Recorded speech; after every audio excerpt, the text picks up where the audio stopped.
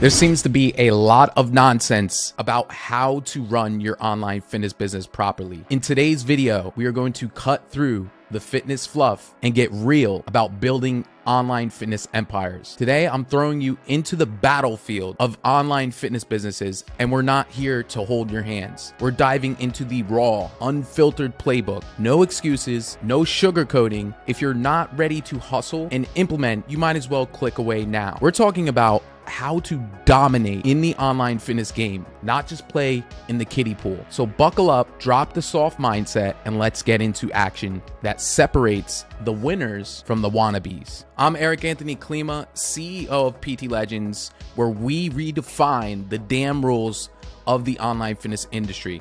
Let's cut through the shit and make your online fitness business a force to be reckoned with so that you can make more money and dominate in the online space. Step one is identifying your passion and expertise. I'm gonna give you an actionable plan for a niche. Now, if you're feeling lost about your fitness passion and expertise or your niche, stop the confusion. Without a clear focus, you'll end up swimming in the sea of mediocrity and your audience won't give two shits about you. Now, this is gonna be your wake up call and a damn straightforward, actionable plan so that you can find your fitness mojo and find your niche. Get real with yourself. Stop the fluff. What makes you jump out of bed? Identify your genuine passion, not what's trending. Two, quit the imposter syndrome. What are you damn good at? Try to identify your unique skills, your strengths, and no false modesty.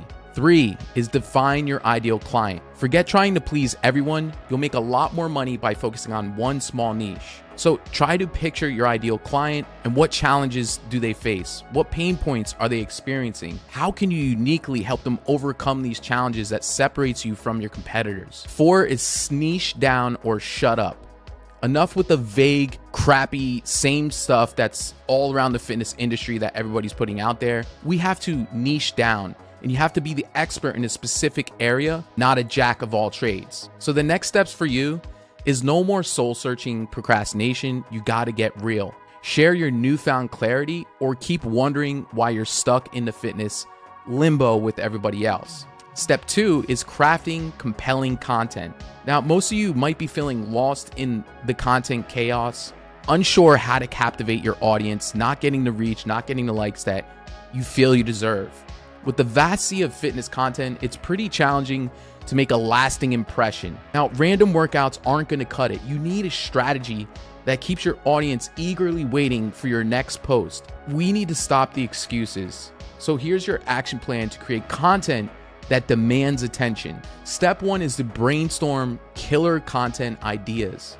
We have to stop overthinking and start brainstorming content that your audience craves. We need to inject variety in your workout content, nutrition insights, success stories. You have to keep it fresh. You have to, nextly, master attention, grabbing headlines. You got to learn the art of compelling headlines that make scrolling minds pause. No more boring shit. We have to captivate or you're going to get ignored. Next is visuals matter, and they matter a lot. You got to invest time in eye catching visuals. Video videos, images, whatever it takes. Don't be a lazy fuck because visuals speak louder than the words. Next, and this might be the most important part that many coaches skip out on, is engage, don't bore. No more monologues. We have to engage with your damn audience. You have to respond to comments, you have to ask questions, and you have to build a freaking community. Most importantly, is consistency is not optional. Stop being lazy, commit to a damn posting schedule. Be a content machine your audience should crave your next post and be a reliable source. So your next steps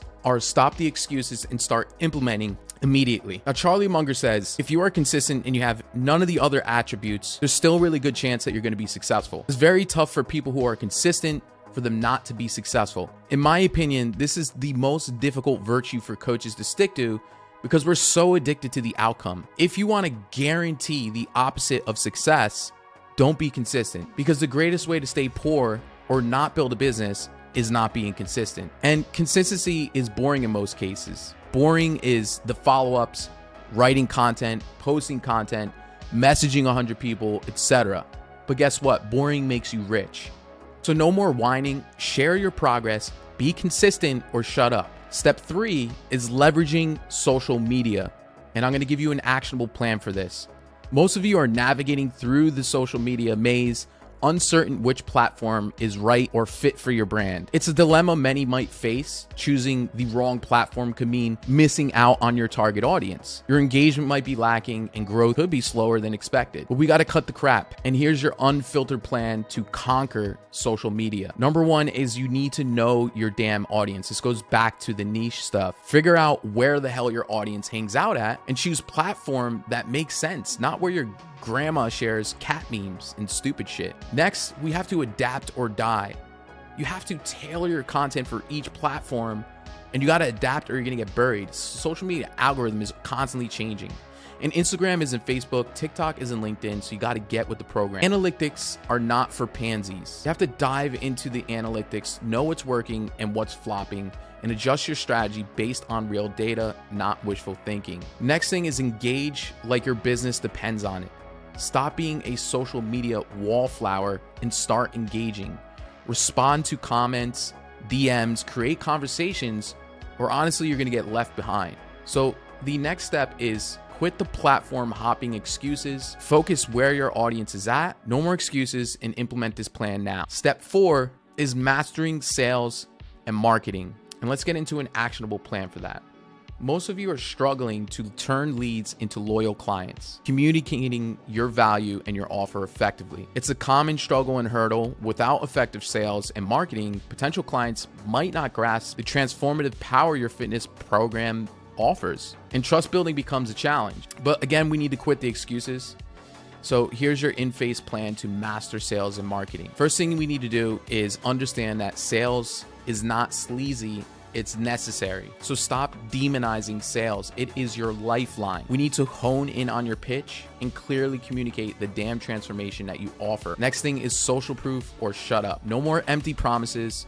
Show results, collect client testimonials, before and after photos, text messages, screenshots, because social proof is non negotiable. Next thing is marketing that doesn't suck. Get rid of the generic marketing and tailor it to your brand. Your marketing should be as unique as your damn fitness program. It should be a representation of who you are. Next is cut the bullshit jargon. No one cares about your fancy fitness terminology. Talk the benefits, not the features. What's in it for them? Sell the transformation, not the product. So your next steps is quit avoiding sales. Embrace it like it's a, a necessary evil. No more fluff. Implement this plan or watch your competitors simply just shit on you. Step five is providing value beyond workout. The problem is most are feeling lost in the saturated market and not sure how to stand out. There's a lot of online fitness coaches out there. Many of them are crushing it. It's a crowded digital fitness arena and it's just growing to multiple billions of dollars. And mere workouts routines won't cut it through, through all the noise. Everybody's posting workout videos.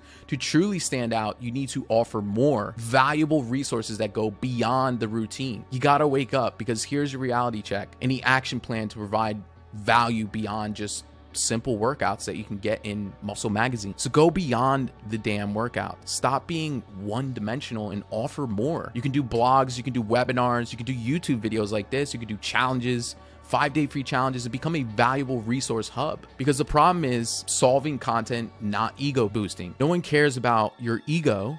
Solve their problems. Your content should be a solution, not a brag fest. Next thing is educate, don't dictate. Don't be a fitness dictator, be an educator. What you want to do is share knowledge, empower your audience, and be that go to source for your audience, that solution that they can rely on. So, your next steps is enough with the generic bullshit workouts start providing real value, things that solve the problems. No more excuses, implement this plan, or you're gonna get lost in the fitness noise and left behind. Step six is embracing technology. Problem is, a lot are struggle to adapt to the digital age, unsure which tech tools to embrace. In a world of evolving at the speed that we are with tech, embracing the right tools becomes a challenge. Without streamlined communication and efficient processes, managing an online fitness business can become super overwhelming. But you got to cut the excuses. I found myself in the same position, avoiding the discomfort of learning new tech because I didn't want to learn it because it was new. So instead, you want to audit your tech toolbox. Stop being tech ignorant and know what tools that you're using and get really good at using them. So what I want you to do is audit your tech arsenal, the applications you're using, the platforms, the automation tools, and streamline your client communication. So you got to quit the email chaos and embrace organized communication. So choose a platform for streamlined client interactions so you don't have any confusions. Next is you got to automate, don't procrastinate. Ditch the manual tasks and automate where possible. Automate client reminders, progress tracking, save time, get efficient, and enhance the client experience through tech. Tech isn't just for you to, you know, uh, make your life easier, but it's for your clients too to get better results. So use apps for personalized workouts like Trainerize, progress tracking, and elevate their experience. Your next steps is to embrace tech like it's your fitness partner. No more tech phobia or laziness. Implement this plan or drown in a digital chaos. Step seven is community building. Finding it challenging to foster a, a, sense of community online can be, I get it, it can be challenging to get people engaged in your community. But building a community goes beyond a few social media posts without an active participation and a sense of belonging your clients might not feel connected. But the reality check is like building community that doesn't suck can be extremely beneficial for your long term recurring revenue. So we got to foster genuine interaction. Stop being a community spectator and foster interaction. Ask your your clients questions, start discussions, be the damn community catalyst. Another thing that you can do is host um, live sessions. No more hiding behind posts. Go live and host live sessions, Q and A's, and let your personality shine. Right? Create exclusive groups for your clients, not generic groups. They won't cut it be exclusive. Create groups for your loyal clients like VIP groups and make them feel special. And in those groups, encourage user generated content.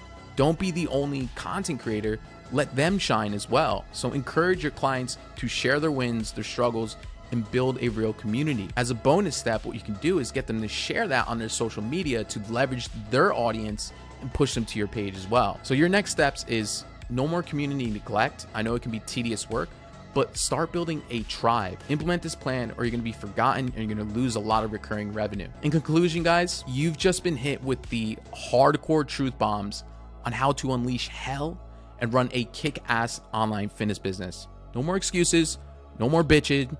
It's time to take action and watch your competitors eat your digital dust. This isn't a fairy tale, it's a fitness reality check you've been avoiding your whole life. I'm Erik Anthony Klima, the no shit taking CEO of PT Legends, and I don't play nice. If you made it this far, it's decision time. Implement these damn strategies, hustle harder than you ever have, or stay stuck in the averageville. I'm not here to cuddle, I'm here to turn your online fitness business into a powerhouse. So, what's it gonna be? The winners are already taking action while they're watching this video. This is your host, Erik Anthony Klima from PT Legends, where mediocrity goes to die and legends are born. Get off your ass, make it happen, and let's redefine the damn game.